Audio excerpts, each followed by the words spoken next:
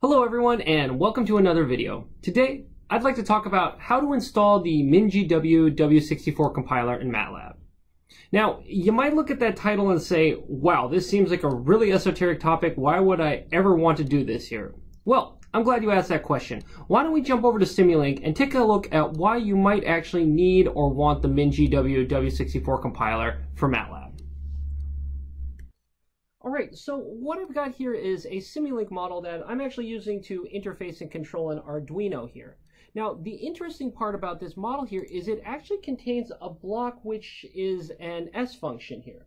So you might recall here that an S function is effectively a Simulink wrapper to C, C++, or Fortran code. So therefore, in order to execute this model here, MATLAB needs to compile this C code here into something that's executable here. So in order to do that, it's going to need a C compiler. So right now, since I don't have a C compiler on this machine here, if I go ahead and try to hit run, it's going to try to compile, but then it's going to fail here.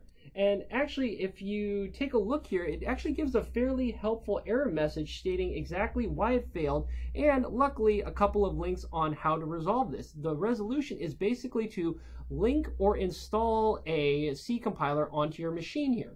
So in order to do that, this is actually um, fairly reasonable. One potential option here is you could come back to MATLAB now, if you had a C compiler on your machine, but MATLAB simply wasn't linked up to that right now, you could type in here and say mex-setup and hit enter, and it would give you an option to link to any of the supported compilers on your machine you might want to note here that not all compilers are supported in this fashion. For example, on my machine, I have Microsoft Visual Studio 2017, which is a perfectly valid C compiler, right? If you look here, let me see, Visual Studio. Here we go. I got Visual Studio 2017 on this machine, but it's actually not going to work for this workflow here. So MATLAB is not going to allow me to select or link to this compiler. So instead, I need to use method two, which is the suggested procedure of installing the MinGW W64 compiler here. So why don't we go ahead and do that now. So to get that, all I need to do here is come here to Home, Add-ons, and let's click on Get Add-ons. And when the Add-on Explorer comes up, what we're going to do here is we are just going to simply search for MinGW, and hopefully that will show up. So I'll come here in the search bar and say MinGW, and click on Search. And here it is. Here's the MATLAB support for the MinGW-W64 uh, C compiler. So this is what we're looking for. So let's go ahead and click on it. And now, unfortunately, if you look here, this might ring a bell. For those of you who watched our video talking about getting the Simulink support package for Arduino hardware set up and running, you may notice that we ran into this issue earlier here, where basically I am running a older version of MATLAB. I'm running R2016B here, and there are some issues associated with that in terms of how to download third-party software here. So there is a, um, a workaround that I am going to have to go through here, but hopefully you are not going to have to do that if you have an earlier, newer version of MATLAB, namely R2017B or later, you shouldn't be affected. So if you have a newer version of MATLAB, feel free to just skip ahead uh, a few minutes here in the video while I go ahead and implement this workaround. All right, so let's just go ahead and click on the report here, and it's going to take us to a website here. I'll include the URL um, in the description of this video here, but basically this describes what the problem is, and luckily they have a fairly reasonable workaround for this. So I'll let you read through this at your own leisure if you're interested, but what this basically amounts to is scrolling down all the way to the bottom here and finding a zip file which contains a few um, files that we're going to have to overwrite in our MATLAB installation. So I'm going to find the one that's appropriate for me. So here, it's this one. It sure looks like this is affecting MATLAB R2013B through 2017A for Windows. So this is what I'm looking for. So I'm going to go ahead and download that file here. I'll go ahead and accept the uh, limited license here.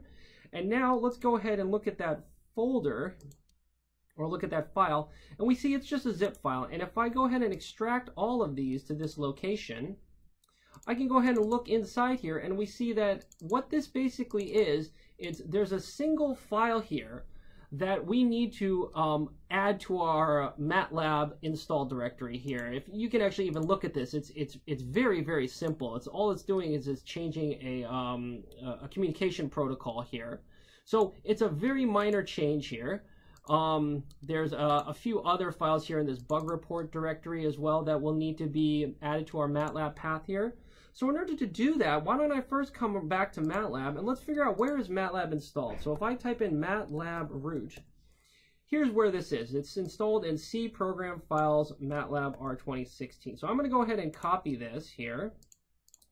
And let's come back to our Windows Explorer here and tell you what, I'm going to move this to one side, like maybe move it over here, and let's fire up another instance of Windows Explorer, move it to the other side here, and let's go take a look at that directory here make a note that this is in the program files uh, directory, so you may need to be logged in as a user who has uh, administrator rights because what we're going to try to do now is, if you look here, there is a bin here in the new uh, downloaded file that we're going to need to replace, and there's a bin file here, there's a bug report folder here, and there's a bug report folder over here, so all we need to do is basically um, make replacements here uh, to, to quote unquote upgrade our old version of MATLAB 2016b. So let's start with the bin. So if we look over here, this is the new version of the file. I go bin in W64 and there's one file. So again, I'll come over here in bin and I'll come in W64 and actually there is no file in here called java.ops. So if I search for Java, there's just one file called javalauncher.dll. So actually, that's great. I don't need to make any backups here. I can just simply go ahead and copy this file and uh, paste it in. And again, it looks like I need administrator rights. So yep, let, that's totally fine. Let's go ahead and paste that thing in. And uh, all right, now let's come back up to our MATLAB root. And also over here, we will come back up a few levels. Come here to the bug report. Let's go into bug report. And we see that, okay, here is this file. Uh, I don't see a corresponding file already. So I'll go ahead and just simply, yeah, go ahead and copy, paste it into here. Again, I need administrator rights. Now, the license here is the same in both, so MathWorks actually recommends making a copy of the existing one, which probably isn't a bad idea. So I'll go ahead and copy that, and I'll just paste this into some random location on my machine. Maybe I'll call this thing old, just so I have it in case I need to go back. So with that backed up, I can go ahead and copy the new license and paste it into here. All right, so there we go. So again, I need administrator rights. Let's go ahead and say yes. Okay, so theoretically, that should be the implementation of the workaround here. So with that being said, why don't we go ahead and restart MATLAB? So I'll go ahead and close the add-on explorer. I'll close MATLAB here, which is going to kill Simulink while we're at it here. And then let's go ahead and restart MATLAB. And once this comes up, we'll go ahead and start installing the package here. So I'm going to pause the video for a second. Oh, actually, never mind. That came up uh, much quicker than I thought here. So let's come here to add-ons, get add-ons. And once again, once the add-on explorer pops up here, let's go ahead and maximize it, get ourselves a little bit more real estate here. Let's go ahead and again search for the MinGW and click on this again get the same page. And again now we have addressed this issue here. So uh, we should be able to go ahead and hopefully be able to come here and install. So let's go ahead and install. And uh, this may take a little while here so we'll go ahead and um, pause the video and come back if anything interesting happens. All right. So I'm asked to accept this. I'll go ahead and hit accept.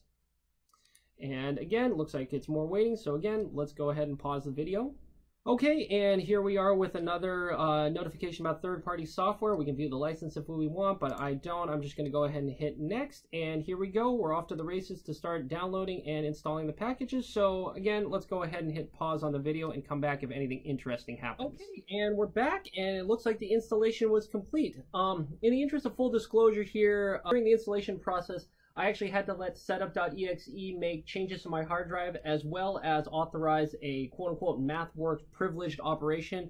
I didn't bother turning on the screen recording for that because it was just clicking yes twice here. But that got us to this point, so let's go ahead and hit finish at this point, and we should have this thing hopefully installed. So again, let's close the add-on manager, and for completeness, I sure like to just restart MATLAB. So let's go ahead and close MATLAB. I'll close the bug report, don't need that any longer. And let's reboot MATLAB, get him started again here, and verify that this works.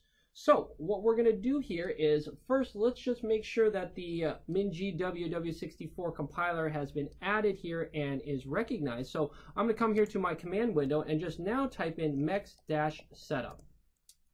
And here we are. This looks very promising. It says that math uh, um, it is now configured to use that compiler that we just set up.